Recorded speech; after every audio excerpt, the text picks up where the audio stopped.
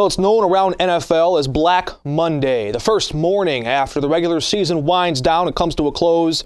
That day, many coaches start packing up their offices and start updating those resumes out of a job. This year, no different. Now, at least five different NFL teams are looking to hire new coaches. The Bears fired Mark Trestman. The Falcons fired Mike Smith. The Jets fired Rex Ryan. And the Raiders fired Dennis Allen much earlier in the year.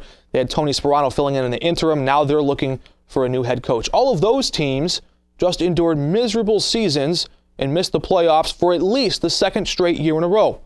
But out in San Francisco, it's a whole different story.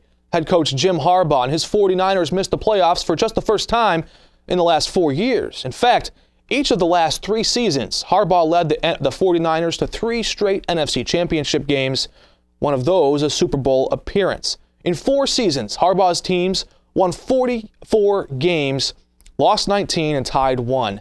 That doesn't even count the playoffs. This year, even after losing several Pro Bowl players on their defense, they still managed to finish with a winning record at 8 and 8. And yet the 49ers ownership says Harbaugh just has to go. They're letting him walk after a pathetic string of coaches like Mike Singletary, Mike Nolan, Dennis Erickson the 49ers fan base is left in the lurch with a massive new $1.3 billion stadium 45 minutes outside of San Francisco. Now, the Niners owner Jed York was more than happy to cash in on Harbaugh's success and send him away when that asking price just got too high.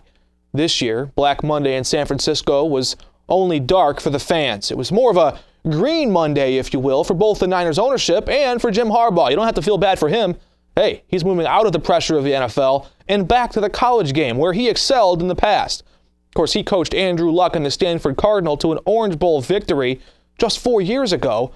And now, after a brief stint in the NFL, he's about to be the highest paid coach in college football, and he gets to do it at his very own alma mater, Ann Arbor, Michigan.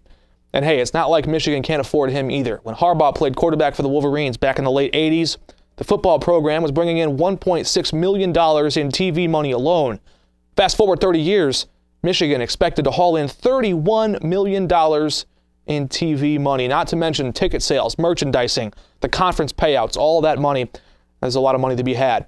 Sure, maybe the Detroit Free Press got the wrong Harbaugh in their newspaper image, but hey, after another few seasons of irrelevance and inevitable coaching carousel that's about to hit Santa Clara, 49ers fans will be happy to welcome even Mrs. Harbaugh to come back and coach their team to the playoffs.